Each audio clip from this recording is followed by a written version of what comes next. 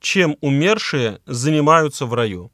А, помнится, когда один священник э, в присутствии большого количества не очень воцерковленной молодежи сказал, что в раю будет вечная божественная литургия, то прям все очень сильно расстроились, а потом я решил совсем их, как говорится, заколотить в гроб, вот, расстройство, я им сказал, ребят, там еще и Wi-Fi не будет в раю, так они совсем э, стали печальными.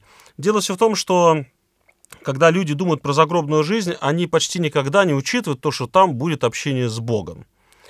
Э, не случайно очень часто э, вопросы про загробную жизнь связаны э, с нашими родственниками, с нашими домашними питомцами, но никак не связаны с Богом. И это вполне понятно. Мы, правда, любим наших близких, в том числе и питомцев, которые, с которыми мы разлучены, но надо все-таки учитывать, что там будет встреча с Богом, и там будет совершенно иная жизнь, качественно иная жизнь. Единственный пример, который нам может помочь, сравнение внутриутробной жизни и жизни здесь, в временном мире. Вот так же, если мы сравним временную жизнь и вечную жизнь, нам станет понятно, что такое качественная иная жизнь.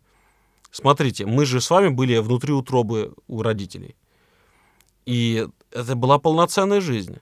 Потом мы пережили смерть, потому что роды для ребенка переживается именно как смерть. Его та жизнь, кстати, через определенные муки, в том числе и болезненные, и физически, та жизнь закончилась. И началась новая жизнь.